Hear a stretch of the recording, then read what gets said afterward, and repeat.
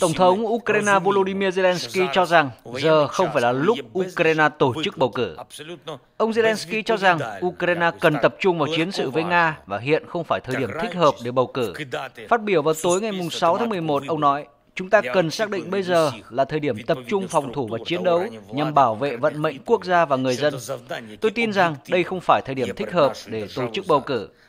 Ông nói thêm rằng Ukraine đang đối mặt với nhiều thách thức và cần ưu tiên vấn đề quân sự. Ông nói, đây là giai đoạn đất nước cần thống nhất thay vì chia rẽ. Thật vô trách nhiệm khi đề cập đến những đề tài liên quan đến bầu cử theo cách phù phiếm như vậy. Phát biểu được đưa ra sau khi Ngoại trưởng Ukraine Dmytro Kuleba nói rằng Tổng thống Zelensky đang cân nhắc đánh giá ưu nhược điểm của phương án bầu cử vào đầu năm sau.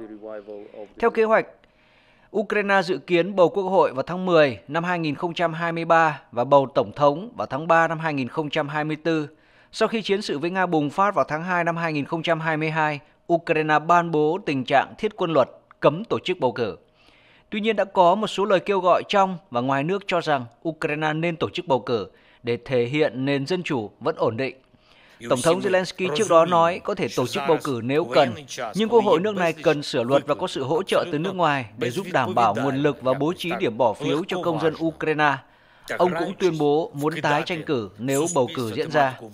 Giới phân tích chính trị nhận định Ukraine sẽ gặp rất nhiều khó khăn để đảm bảo một quy trình bầu cử tự do, công bằng và an toàn giữa chiến sự.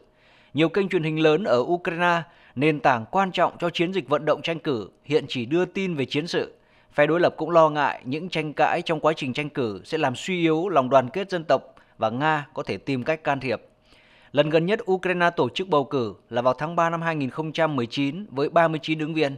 Do không ai đạt quá bán số phiếu, cử tri Ukraine tiếp tục bỏ phiếu với hai ứng viên nhận nhiều phiếu vòng một là ông Zelensky và ông Poroshenko.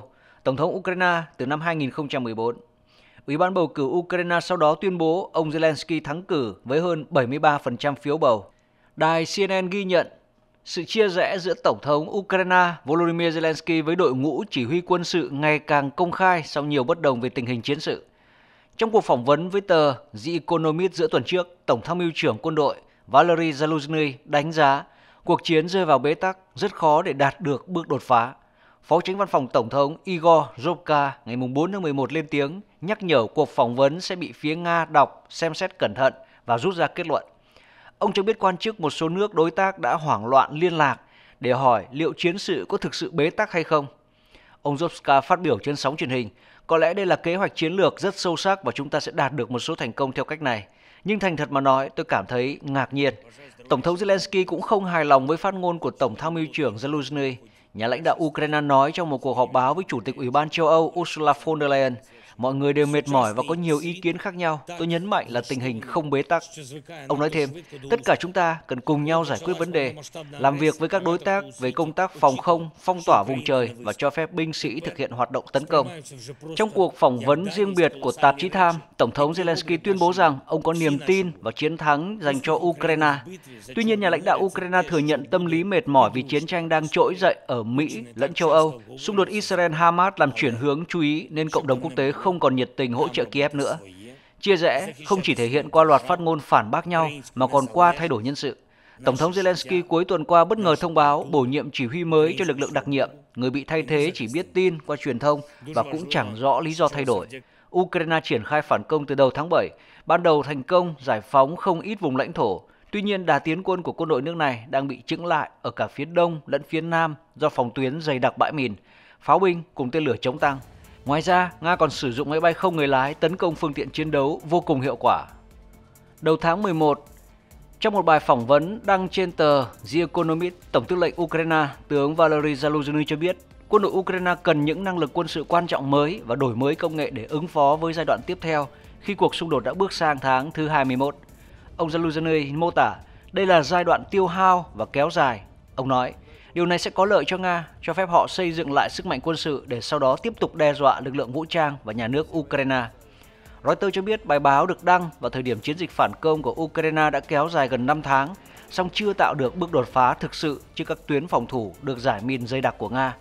Giao tranh dự kiến sẽ chậm lại khi thời tiết xấu đi. Quân đội Nga đã tiến hành tấn công ở nhiều vùng phía đông, Kiev lo ngại Moscow có kế hoạch tiến hành một chiến dịch không kích nhằm làm tê liệt lưới điện cùng nhiều hạ tầng cơ sở khác. Bài báo cũng chỉ ra lợi thế về sức mạnh không quân của Nga, một yếu tố khiến việc tiến quân của Ukraine trở nên khó khăn hơn. Tổng tư lệnh Ukraine đề nghị Kiev nên tiến hành các cuộc tấn công lớn bằng máy bay không người lái để làm quá tải hệ thống phòng không của Nga.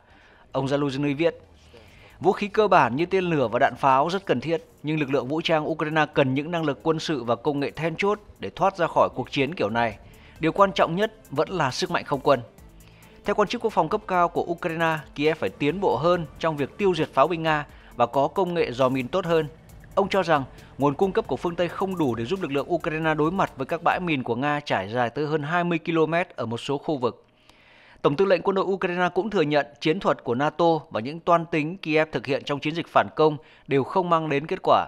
Kiev đã không thành công trong việc đẩy lùi lực lượng Nga khỏi phòng tuyến. Ông Zaluzhny nói thêm, sớm hay muộn chúng tôi cũng phải thừa nhận rằng quân đội Ukraine không có đủ nhân lực cho chiến dịch phản công. Ông Zelensky gọi việc Kiev xây dựng quân dự bị là ưu tiên hàng đầu, mặc dù thừa nhận rằng Ukraine có năng lực hạn chế trong việc huấn luyện lực lượng. Ông cho biết vẫn còn những lỗ hổng trong luật pháp cho phép người dân trốn tránh nghĩa vụ. Ông nói, chúng tôi đang cố gắng khắc phục những vấn đề này. Chúng tôi sẽ đưa một danh sách thống nhất những người đi nghĩa vụ và chúng tôi phải mở rộng danh mục công dân có thể được gọi đi đào tạo hoặc huy động.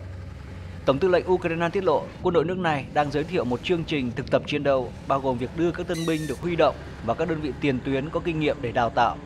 Thời gian gần đây, các quan chức và chỉ huy quân đội Ukraine thừa nhận nước này không chỉ thiếu vũ khí của phương Tây mà còn thiếu cả nhân lực để vận hành chúng. Một số quan chức Ukraine phàn nàn trong chiến dịch phản công, quân đội nước này chưa thể đẩy lùi lực lượng Nga ra khỏi các khu vực bị chiếm đóng vì các đồng minh phương Tây chậm bàn ra vũ khí viện trợ theo cam kết. Ngoài ra, quân đội Ukraine cũng phải đối mặt với tình trạng còn nghiêm trọng hơn vấn đề vũ khí đạn dược, đó là thiếu nhân sự. Một trợ lý giấu tên của Tổng thống Volodymyr Zelensky trong cuộc phỏng vấn với tạp chí Time thừa nhận rằng dù Mỹ và đồng minh đã bàn giao toàn bộ vũ khí như cam kết thì Ukraine cũng không có đủ binh sĩ có khả năng để sử dụng.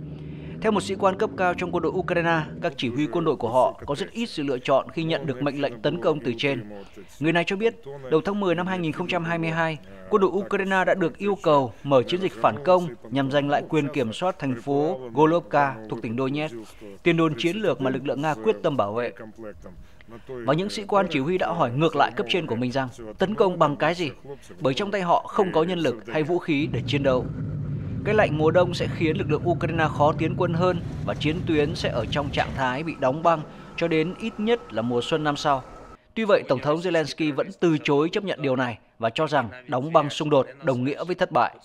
Một số trợ lý của Tổng thống Zelensky cho biết Ukraine sẽ có những thay đổi lớn trong chiến lược quân sự và đội ngũ cố vấn của Tổng thống. Theo các quan chức này, ít nhất một bộ trưởng và một tướng phụ trách chiến dịch phản công sẽ bị cách chức vì lý do tiến độ chậm chạp trên các mặt trận. Một trợ lý Tổng thống Zelensky thừa nhận, đồng thời cho biết nhiều chỉ huy ở tiền tuyến bắt đầu từ chối mệnh lệnh tiến quân, ngay cả mệnh lệnh từ văn phòng Tổng thống Ukraine ban hành. Họ nói, chúng tôi sẽ không thể tiến về phía trước được, họ chỉ muốn ngồi trong chiến hào và giữ phòng tuyến. Tuy nhiên chúng tôi không thể thắng theo cách đó. Ukraine không công bố thương vong của mình trong cuộc xung đột với Nga, nhưng theo ước tính của Mỹ và châu Âu, thương vong của Ukraine và Nga đã hơn 100.000 người mỗi bên. Điều này làm giảm nghiêm trọng nhân lực của quân đội Ukraine buộc các văn phòng tuyển quân phải triệu tập những tân binh lớn tuổi hơn. Độ tuổi trung bình của một người lính Ukraine hiện tại là 43. Một trợ lý thân cận của ông Zelensky nhận xét rằng họ đã già và không còn khỏe mạnh nữa. Tình hình này hoàn toàn khác so với thời điểm khi mới xảy ra xung đột Nga-Ukraine. Khi đó, lực lượng phòng vệ lãnh thổ của quân đội Ukraine đã thông báo tiếp nhận tới 100.000 tân binh chỉ trong 10 ngày đầu tiên khi nổ ra chiến sự. Việc huy động tân binh Ukraine sau đó được thúc đẩy bởi những dự đoán lạc quan của các quan chức nước này rằng họ sẽ chiến thắng trong vòng vài tuần đến vài tháng. Một trợ lý khác của ông Zelensky cho biết, nhiều người nghĩ rằng họ có thể thực hiện một hành trình nhanh chóng để đạt được chiến thắng vĩ đại. Tuy nhiên, tốc độ tuyển quân của Ukraine đang giảm dần sau 2 năm xung đột, dù nước này áp dụng chính sách tuyển gọi nhập ngũ gắt gao. Vào ngày 11 tháng 8, Tổng thống Zelensky đã cách chức toàn bộ lãnh đạo văn phòng tuyển quân cấp tỉnh. Động thái được đánh giá để thể hiện cam kết chống tham nhũng. Tuy nhiên, một sĩ quan cấp cao Ukraine cho biết Điều này phản tác dụng khi hoạt động tuyển quân gần như bị đình trệ do thiếu người lãnh đạo.